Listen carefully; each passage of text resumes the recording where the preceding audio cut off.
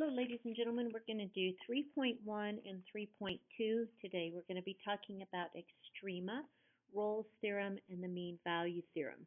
So I just kind of said all that again. So those are our objectives for today. Remember that our mean value theorem is extremely useful. All right, so before we get started, let's talk about the definition of extrema. And remember, extrema can mean lots of different things. It can mean a minimum or a maximum. It could be a relative min or max, or it could be an absolute or global min or max. But in general, if I have a function evaluated at c, and it is a minimum of the function on an interval, what that means is is that f of c is going to be less than or equal to all of the other y values for all x in that given interval. Okay, so it just means that it's going to be the smallest y value in an interval. On the other hand, if I have f of c as a maximum of a function on an interval, then it's because that f of c is greater than or equal to f of x. So it is the largest y value for all x in the interval. And just remember we have lots of words that describe extrema. So I can have a relative max or min. And remember that means that it is in within a specific interval. I could also have what's called a global or an absolute max or min, and that means that the graph would never go beyond either of those two points. The other thing that's really important when we're talking about is extrema is that you pay attention to your intervals. Is it a an open interval, oops, or a closed interval? So you want to make sure that you're paying attention to the details. The thing that we typically forget for extrema, and this is really important, and we saw this in a lot of our problems on the AP exam, is you need to be very careful. You need to be very careful to test the endpoints because this was a piece that many of us would forget when we were evaluating extrema to test the endpoints on a closed interval because oftentimes a max or a min will occur at an endpoint and we miss that if we have forgotten to check that. All right, if we go back and talk about just a couple of definitions that we've seen before for existence theorems. And remember, an existence theorem just tells you that a particular characteristic exists in a specific interval. For example, the intermediate value theorem says if a function is evaluated at its endpoints a and b, and a sign change occurs, then we know that a zero exists. It doesn't tell us necessarily where, but it tells us that it exists in that interval from A to B. Alrighty, so that's what the intermediate value said. The next one is what's called an extreme value theorem. And again, this is just an existence theorem. And basically, it says that an extrema could, could being the operative word, exist within a certain interval. Which means that we probably need to go back and talk about, that's a B, what it means to have an extreme. All right, so I'm going to do that with just a little graph. Okay, so let's say I have this cute little graph. Here's my function, and I'm going to have something like that, and then here's going to be my interval from A to B. Well, if we talk about extrema, remember that we're really looking at a change in the slope, and that is going to be of our tangent lines. So for example, the tangent here is positive, the tangent here is negative, which means that in the interval from here to here, since there is a change in sign of my derivative, that means that I have potentially an extrema because at that point the derivative is going to equal zero. Okay, and I know that a max or a min occurs there because of a sign change in the slope of my derivative. And then down here, I might have another potential extrema because again, I've had a sign change in my derivative. Okay, um, so I think that kind of addresses everything that I had written down, but we're looking for a sign change so we're looking for a change in the slope. Specifically, we're looking for a sign change, okay? Because if I have a positive and a negative, at some point they change, and at that point where they change, I have an extrema, and at an extrema, the derivative of the function at that point is going to be zero because a horizontal line has a slope of zero. Alrighty, so the first thing that we need to do, if we are trying to determine critical values, or sorry, to determine extrema, is to determine our critical values. And if you'll remember, the critical values happen where the derivative of, oops, that's supposed to be a parenthesis, the function is zero. So a critical value is going to be where my derivative is zero because everywhere that my derivative is zero, I could potentially have an extrema. So if you're asked to find extrema on an interval, okay, and we're going to say that it is a closed interval, meaning that the endpoints are included, the first step is always to find those critical numbers. But to be able to find those, you're going to find the derivative and set it equal to 0, and we're going to solve for x. And we're going to solve for x in our derivative. And then we're going to evaluate the function, the original function, at the critical numbers. And remember, those critical numbers include wherever the derivative is zero and it includes the endpoints of whatever interval you've been given. Okay, so we're going to evaluate our critical numbers, and by critical numbers I mean that where the derivative is equal to zero, and I'm going to evaluate the endpoints, and then I'm going to determine my extrema. So this is just kind of the beginning of chapter 3. So we're going to do very little work, um, unlike what will be coming later when we start talking about first and second derivatives, when we start talking about um, extrema and concavity and all kinds of fun things. So for our first example, we're just going to make it nice and polite. I want to find the extrema of f of x is equal to 3x to the fourth minus 4x cubed on the interval from a negative 1 to 2. So the first thing that I have to do in my example is find the derivative of my function. So using my simple power rule, I'm going to have 12x cubed minus 12x squared. And then I'm going to set that equal to 0 because my extrema will happen where I have a horizontal tangent of 0. I'm going to factor out a 12x squared, and I'm going to get x minus 1 is 0. So I'm going to get x is 0 and 1. These are my critical values in addition to the negative 1 and 2.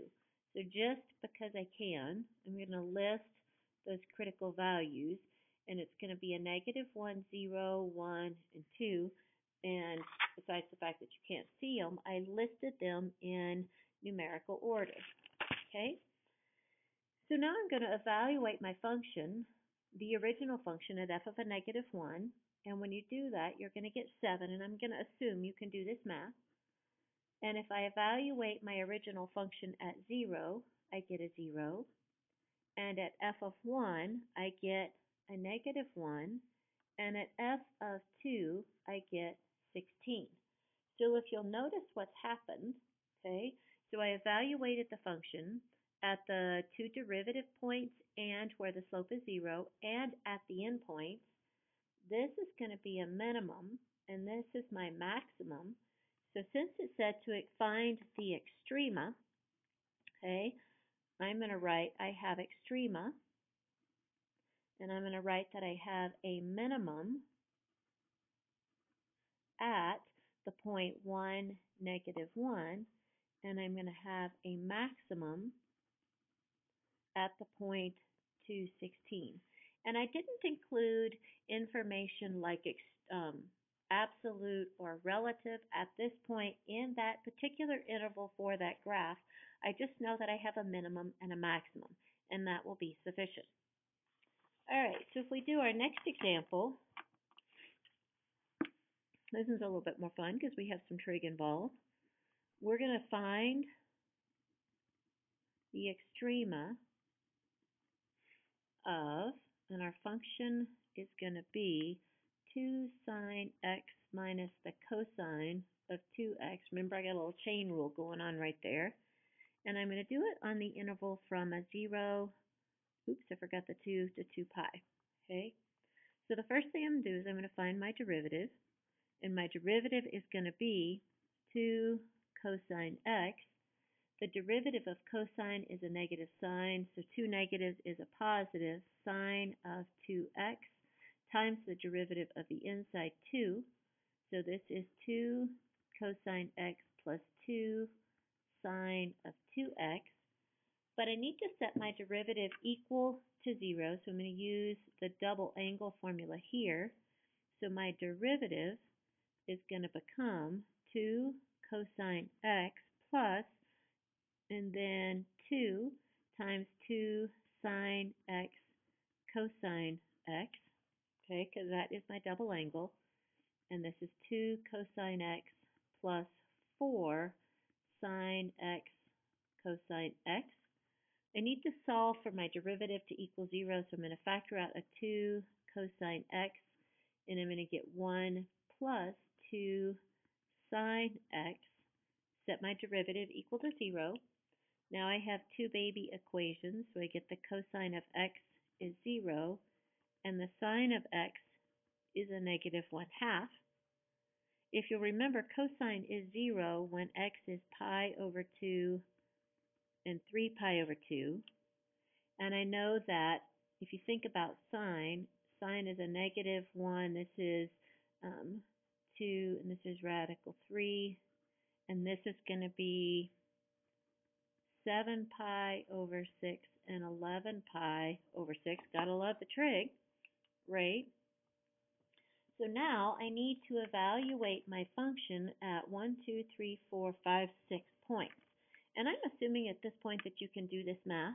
So I'm just going to write down our work. So if I evaluate the original function at 0, I get 1. And I'm putting these kind of in order. And then I'm going to do pi over 2 and I get a 3. And if I evaluate the function at 7 pi over 6, I get a negative 3 halves. And if I evaluate the function at 3 pi over 2, I get a negative 1. If I evaluate, sorry you can't see it, if I evaluate the function at 11 pi over 6, I get a negative 3 halves and my last one, f of 2 pi, and I get a negative 1. So you'll notice I have two minimum values, okay? Did I do my math right? Negative 3 halves, negative 1 and a half. My bad. Oopsie. Sorry. So I have 1, 3, negative 2, negative 3 halves, negative 1. Okay, my bad a negative 1.5 is bigger, so I have two minimums. I'll do it in a different color since I screwed that up.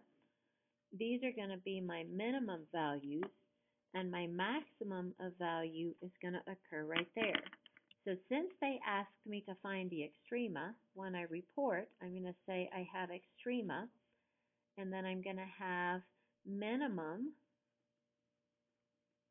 at x is equal to 7 pi over 6 and 11 pi over 6, and I'm going to have a maximum at x is equal to pi over 2. Alrighty, so that is evaluating our extrema. Alright, the next thing that we want to talk about is Rolle's theorem. Alright, and basically here's what Rolle's theorem says. It says, and this is 3.2 by the way, in case you care, that if a function is continuous over the interval a to b and differentiable is D-I-A-B-L-E over, oops, round brackets, a to b, and if f of a is equal to f of b. Right? So notice that it's saying that I have a continuous function that's differentiable on an open interval, and if the two y values at the end points are the same, then we know there is at least one value where the derivative is going to equal 0, which means that I have a horizontal tangent and it means that I have at least one, so sorry, let's write greater than or equal to one extrema. Okay? Alrighty, so let's just do an example of this, not too difficult. So I'm going to have our function equal x to the fourth minus 2x squared, and I want to find all values of c in the interval of a negative 2 to 2 such that f prime of c is equal to 0. Alrighty, and basically what we're doing is if I substituted in my endpoints, just to illustrate my point, if I did f of a negative 2, I would get, what would I get? I think I would get a 0. Is that true? Um, because it would be a negative 2 to the fourth It's going to be a positive 16, and then negative 4, oh, it's going to be 8. And then if I evaluated the function at the other endpoint, so 2 to the fourth is 16 minus 8, so I'm still going to get 8. So notice that this is an application of Rolle's theorem because my endpoints yield the same y value, so that means somewhere in the interval from a negative 2 to 2, I have an extrema, and that's what I'm looking for. So the first thing that I'm going to do is I'm going to take the derivative, and I'm going to get 4x cubed minus 4x, and I'm going to set my derivative equal to 0, so I'm going to factor and get x squared minus 1 equals 0, because I know that I'm going to have a horizontal tangent when my derivative is equal to 0, and I'm going to get x is equal to 0 and plus or minus 1. So now I know that I could potentially have three different places where I have a horizontal tangent in the interval from a negative 2 to 2. Alrighty, and if we look at this graphically, so if I were to actually graph our original function, it would look something kind of like that. And notice we said that we had horizontal tangents at 0 and then plus or minus 1. So notice in my original graph I have 1, 2, 3 horizontal tangents. So in theory this confirms my answer. And so I would say that f prime of c is equal to 0 when c is equal to 0 and plus or minus 1. Alrighty, so the next thing that we want to talk about is our mean value theorem. If you'll remember from Calc 1, it is a very valuable theorem. So the mean value theorem is also an existence theorem, which means that in an interval a certain characteristic exists. So this one says if the function is continuous on an interval from a to b and it's differentiable, meaning that I can just take the derivative on the on the open interval a to b, then the derivative evaluated at c is just going to be the slope of the secant line, which is what the mean value theorem says, because not always do we have in a function that we can evaluate where I want to find a derivative, but if I don't know the equation, that's okay, because I can still use the mean value theorem and still come up with um, my average rate of change. So remember that my derivative of the secant, so the derivative of the secant is going to equal the derivative of the function, and I know my notation is horrible, but it's just to illustrate a point. and then that's going to give me my average rate of change on my endpoints A to B, okay, which is why we use the mean value theorem. All right, so let's do an example using our handy dandy mid value mid mean value theorem. Sorry, brain and mouth aren't working at the same speed. I'm going to be told that f of x is equal to 5 minus 4 over x, and I want to find all values of c in the interval 1, 4, such that f prime of c is equal to f of 4 minus f of 1 over 4 minus 1. So this is actually an interesting application of the mean value theorem. So they're telling you that you can find the derivative, and they're telling you that they want the derivative to equal this, so we're going to be able to kind of work backwards. So the first thing that I'm going to do is I'm going to find my derivative and I'm going to rewrite my function to be 5 minus 4x to the negative 1. So my derivative is 4x to the negative 2, which is 4 over x squared. Okay. So now what I want to do is I want to evaluate the derivative at c to find out what value they want us to set it equal to. So if I do f of 4 minus f of 1 over 4 minus 1, well, 5 minus 1 is going to be, oh, sorry, 5 minus 1, because 4 divided by 4 is 1. So 5 minus 1 is 4. And then the function evaluated at 1 is 1 over 4 minus 1 is 1. So they're telling us that the slope of the derivative is going to be 1. And I want to find the points where this is true. If I set 4 over x squared equal to 1 cross multiply, I'm going to get x is equal to plus or minus 2. So I would know that the slope of the tangent line is going to be equal to 1 when x is a plus or minus 2. So I'm going to write in the interval from 1 to 4, x is equal to, but notice that they originally said go from 1 to 4, so the negative value doesn't work. x is 2 yields a derivative of 1. And then I've answered the very specific question that's asked. Alrighty, I think I have one more example for us. Yep, just one. Lucky dogs. And this is a great example of the mean value theorem. It's actually really pretty fun.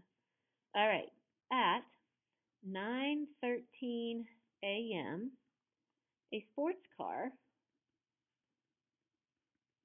is traveling 35 miles per hour, seemingly very innocuous. Two minutes later,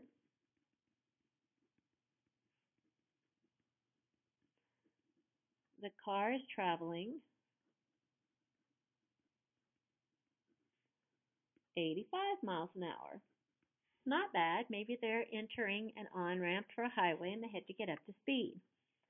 But we want to prove that at some point in the two minute time interval, the car's acceleration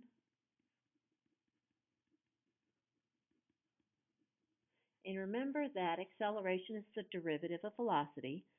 The acceleration is exactly 1500 miles per hour squared, which means that the driver of the cool sports car, the driver of the cool sports car is now about to get a ticket for excessive, I think I spelled it wrong, excessive acceleration. That's a sad day. Yay, calculus. All right, so let's talk about what we have. So at time is equal to zero hours, and I'm going to choose hours because my velocity is in miles per hour. My car is going 35 miles per hour. Well, two minutes later, so 2 out of 60, except I wrote the wrong number, 2 out of 60, right? The car is now traveling 85 miles per hour, okay? Well, 1, 2 over 60 reduces to be 1 over, gosh, I can't write, brain and mouth aren't working. So I have 1 30th of an hour. So I know that my velocity is going to be equal to miles per hour, and my acceleration is the derivative of velocity, and it's going to be miles per hour squared. Well, I don't really have an equation to take the derivative of, so I'm going to take the derivative of the velocity to estimate my acceleration by using the mean value theorem. So it says that my mean value theorem says that the acceleration is going to equal v prime of t, which is just f of um, 1 over 30 minus f of 0 over 1 over 30 minus 0. So that's the math that we're actually doing. So when I find my acceleration, which remember is the derivative of velocity, f of 130 is 85 minus 35 over 1 over 30, because subtract 0 when it's 0. So I get 50 times 30 over 1, which is 1500 miles per hour squared. So busted. So simple little math for your friendly neighborhood police officer to do in the car, and then he can show the judge that you do indeed deserve a ticket. Alrighty, that's it for today. I will see you guys tomorrow.